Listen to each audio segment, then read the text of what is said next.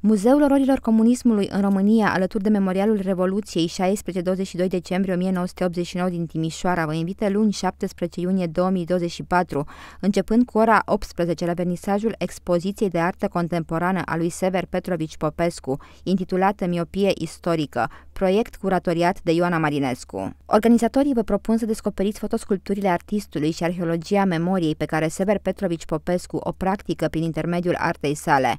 Artistul documentează creează o lume dispărută, o cercetare simbolică și ritualică. Mărturiile sunt puține și de multe ori impalpabile.